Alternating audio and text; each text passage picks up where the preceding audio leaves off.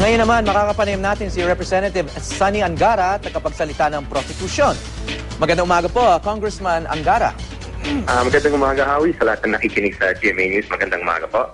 Okay, sinasabing posibleng tumistigo ang ah, ilang colleagues mo, no? Sina Navotas Representative ah, Toby Tiangco, Batangas ah, Representative Hermilando Mandanas, at ah, pati na raw si House Secretary General Marilyn Barua Yap. Ah, mapapatunayan daw po ng mga nasabing personalidad ang kakulungan, kakulangan sa probable cause ng impeachment complaint. Ano po ang masasabi niyo tungkol dito?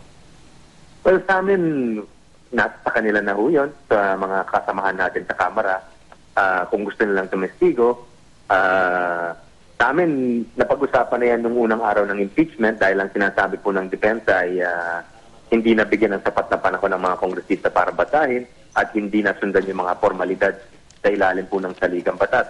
Paukol po sa verification.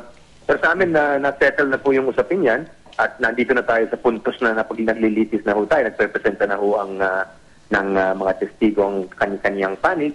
So sa amin, ah, parang nadaanan na ho natin yan. So nagtataka kami kung bakit yan ulit ang ah, mapag-uusapan. Yan, ah, may panayam kasi si ah, Congressman uh, Tiangco kanina na parang uh, pinipressure daw siya ng ah, ah, ilang colleagues mo sa House na wag na mag-testify. Well, wala tayong balita ho dyan. How it, pinangalan ho ba niya kung sino ang tumatawag ho sa kanya o kumakausap ho sa kanya? Ah, s- well, ang naalala kong sinasabi niya si Boyet daw. Ah, well, ah, ay- alam ko may panayam ho si Majority Leader, I assume it's Majority Leader Boyet Gonzales po kung Ah. saan sinasabi niya na sana wag ah, sana galangin po yung Kamara bilang institusyon at ah, hindi mababoy ito sa proseso. At uh, doon sa panayam ni Majority Leader, sangayon naman ako sa kanya na dapat nga po sana res- respetuhin dahil nire-respeto po natin yung ah, yung opinion ni Congressman Tiangco sa kanyang hindi pagpirma dito sa impeachment complaint. Sana ganun din sa sa hanay niya. Sana respetuhin din po niya yung desisyon nung ah, halos dalawang saang ah, representante na pumirma po at maghain ng isang impeachment complaint. Okay, ah, masasabi nating tapos na ang paghahain niyo ng ah, ebidensya sa tatlong articles of impeachment pero may ilang issue pang ah, lumulutang ngayon na may kaugnayan sa punong maestrado. Kabilang na rito yung ah, panunutok ng baril ni Chief Justice sa isang caretaker ng ah, ari-arian ng pamilya ni Mrs. ah, Corona. Sinasabi ni ah, ah, Attorney Karen Jimena naman na irrelevant yan na hindi na dapat pag-usapan. It- ito ba eh, napapag-usapan nyo sa prosecution kung gagamitin nyo pa rin ah, ito sa ah, laban na to?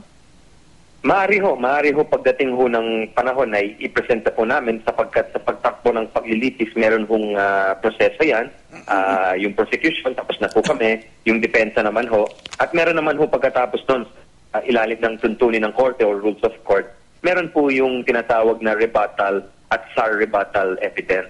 So yun po, kung pinag-aaralan namin kung ah, magandang ipresenta bilang ah, rebuttal evidence po yan, yung mga pangyayari dito sa Pasag Gidoti sapagkat bagong labas rin po yung ah, mga mga isang buo po ni Mrs. Corona na sila Ana Basa at ang kanyang tiyahin na si Sister Flor Bas. Mga bagong ah, labas din po yan na dati ayaw tumistigo o hindi available po para tumistigo.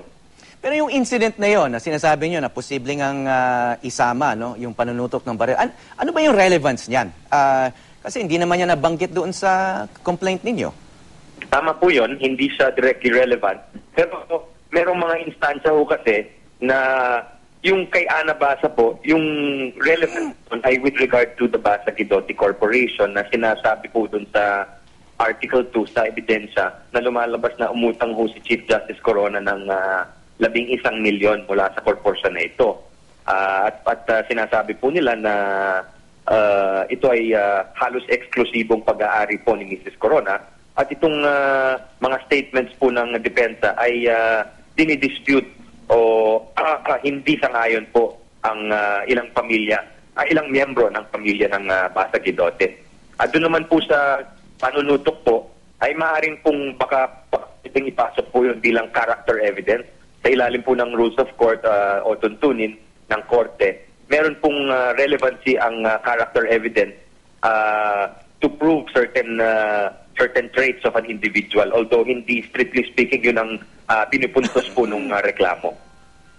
Ano naman ang reaction nyo doon kay ah, Senate President Enrile na sinasabi niya na ah, magre-resign daw siya kung bastusin si Chief Justice ah, Corona sa witness stand.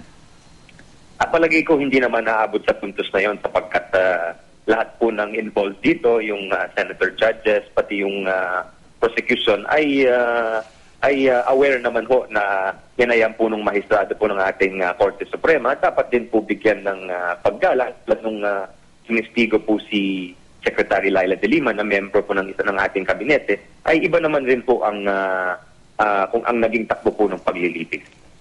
Of course, yung respect at saka yung pambabastos, medyo subjective yan. Ano? Yung, yung respectful sa isa, posible nga bastos naman sa kabila, di ba?